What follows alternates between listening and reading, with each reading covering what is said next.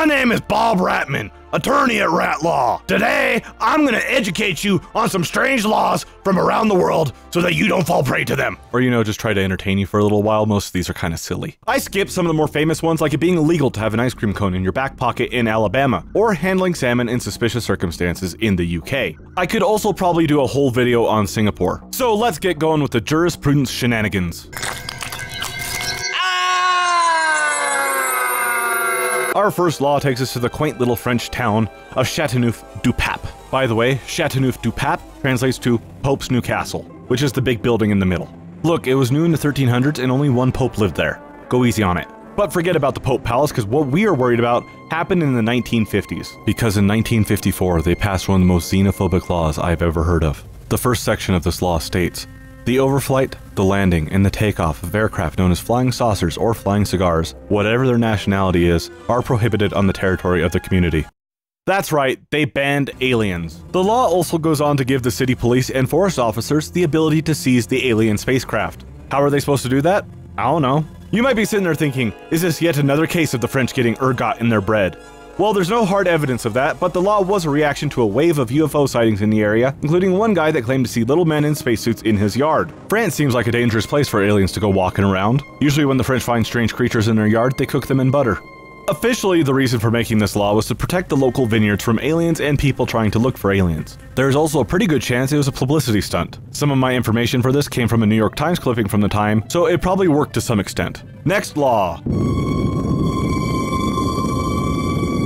Next, we got one that may surprise my European viewers. If you were to ask an American if they like black currant, they would probably respond, What the hell is that? For those that don't know, black currant is a berry that is pretty common in Europe and parts of Asia. It kind of tastes like a cross between a cherry and a grape, but with more acidity. It is actually a pretty common flavor for sweet things in Europe. In the UK, Skittles are actually black currant flavored instead of grape. However, black currant was banned in the US in 1912. You may be thinking, what, did an American kid choke on a black currant like the Kinder Eggs? But no, they actually had a good reason this time. You see, blackcurrant, the other currants, and gooseberries belong to a group called ribes. Ribes are a secondary host for white pine blister rust, which is a fungus that can kill some species of pine trees. So the US Department of Agriculture effectively banned ribes in the US to protect the US lumber industry as part of the Plant Quarantine Act of 1912. The white pine blister rust is not as much of an issue in Europe and Asia because a lot of the pine trees there are resistant. In the 1960s, though, the federal government lifted the ban on ribes thanks to the Forest Service's work on breeding resistance into their pine trees. However, state bans took longer to be repealed. Many bans lasted into the 2000s, and some still aren't repealed. There are also still some federal restrictions on what countries the plants can be imported from. Despite blackcurrant's newfound legality, it hasn't recovered as a consumer product in the US. Being banned for decades means that it largely fell out of the public consciousness. It was replaced with local fruits and easily attainable tropical fruits. You can find some blackcurrant products in the US, mostly jam and jelly, but nowhere near the selection of commercial products that there are in Europe. If you go on Amazon in the US and search blackcurrant, most of what you get is imported things like Ribena selling for $19 for 1.5 liters. I did find some blackcurrant Twinings tea, which I will report my findings on on social media when it shows up. Next law!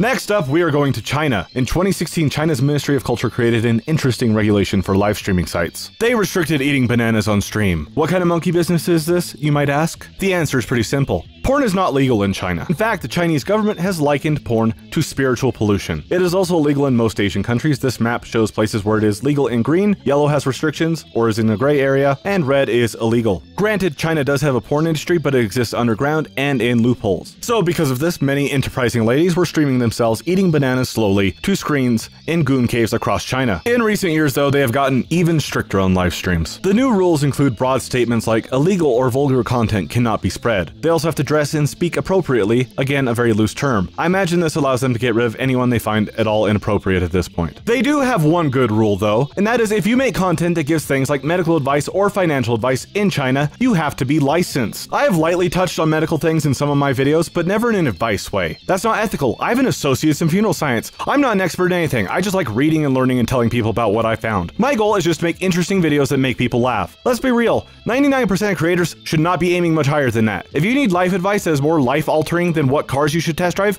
Go find a real life professional. Finance and medical content is full of scammers at this point. Hell, there are people like CoffeeZilla and How to Cook That who have whole careers talking about the dumb shit people try to push on their viewers. China has some bad things going on, but there are a few things I think we could learn from them. Cracking down on at least the notable online scammers is one of them. Next law. Next up, we have Quentin Tarantino's least favorite law. In 2009, Greece banned wearing high heels at certain historical sites like the Acropolis. This is another one that has a good reason. High heels are more likely to damage floors than other common types of shoes. This is mainly due to the wearer's weight being distributed over a smaller area. This makes them much more likely to scratch, scuff, and dent floors. For instance, I found a Canadian study about stiletto heels and flooring. It says that linoleum can take about 75 psi and that vinyl tile can take about 200 psi. On the other hand, it measured the pressure exerted by heels worn by 12 of their co-workers. The heels exerted between 640 psi and over 2200 psi. I've also seen historical buildings in the US that discourage high heels. I live in New Mexico and a lot of the older buildings here and in other mountain states have floors that are just boards made out of the nearest pine trees over joists. I have heard multiple stories over the years of people wearing high heels, stepping just right and their heel pops the knot out of the historic building's floor. Not only does this damage the building, it is also possible that it will hurt the wearer. It is not a law, but it is something to keep in mind and some buildings do request that people don't wear high heels to save the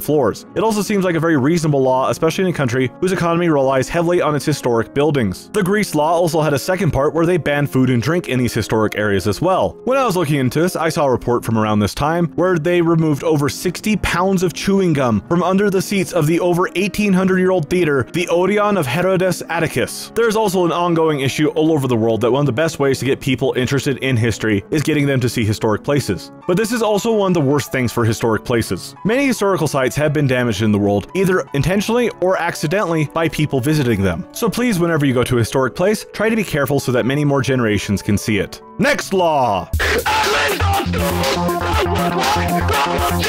But your roads are world of tanks. In the United Kingdom, you can legally drive a tank on the road. Surprisingly, this is not really allowed in the US. There might be some local law I didn't find, but at least in general, that is true. You can own tanks in the US, but you cannot drive them on the road. There are plenty of places that let you drive tanks in the US, but you have to stay on private property. There are also tank-like things you can drive on the road in the US, like the Ferret and some other armored vehicles with tires, but in the UK, you can have a full-on tanky boy with tracks and drive it down to Nando's. There are a few rules you have to follow if you want to rommel about the English countryside, however. Obviously, the first one is the gun has to be disabled. It looks like a common way to do this is to fill the gun with concrete. Also, it is called a gun on tanks from what I found. Apparently in the modern military, cannons are rifled and a lot of times are artillery that fires in an arc to hit things beyond eyesight where tanks have smoothbore guns that shoot directly at things. You also have to put rubber shoes on the tracks so it does not hurt the road. The tank you pick also has to be less than 2.9 meters wide and less than 44 metric tons. By the way, a metric ton is a thousand kilos as opposed to the 2,000 pounds used in the US. The conversion is a metric ton is about 1.1 freedom tons. Also, the width restriction prevents the coolest British tank from being street legal. You also need to get an H-class driver's license that allows you to drive track vehicles. Obviously, tanks are outnumbered by Vauxhall Astras in the UK, but it is interesting nonetheless, especially considering how narrow many of the roads are there. Look at how big a normal American truck looks on the country roads there. Overall, pretty surprising, since I thought the only thing they tanked over there was their economy by leaving the EU.